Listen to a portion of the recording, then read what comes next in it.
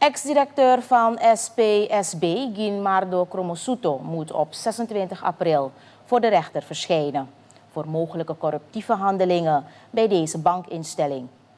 In deze zaak zijn voorlopig acht personen in Suriname en Nederland als verdachte aangemerkt voor onder meer deelneming aan criminele organisatie, overtreding artikel 13 anticorruptiewet, ambtsverduistering, gekwalificeerde verduistering, valsheid in boeken en of registers door een publieke functionaris en oplichting.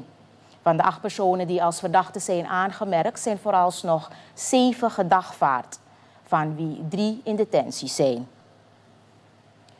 Verhoogde controles van de militaire politie hebben erin geresulteerd dat ongeveer 150 vreemdelingen op de Johan Adolf Penge luchthaven zijn opgehouden. Deze groep zal worden teruggestuurd naar hun land van herkomst, omdat ze niet voldoen aan de eisen om Suriname binnen te komen. Van deze groep hebben 14 vreemdelingen kans gezien om afgelopen zondag te ontvluchten. Van deze 14 zijn ondertussen 8 vreemdelingen aangehouden.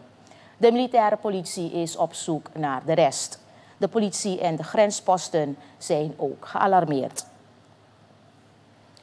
Een evaluatie van het visumvrij reizen naar Suriname, welke op 1 juli 2022 is ingesteld, toont aan dat veel reizigers deze regeling gebruiken om ons land als tussenstop te gebruiken.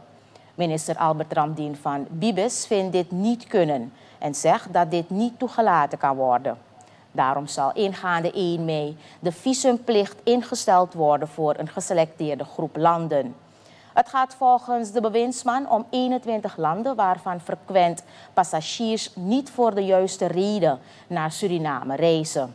Suriname mag niet gezien worden als een doorvoerland of een land dat illegale personenverkeer faciliteert.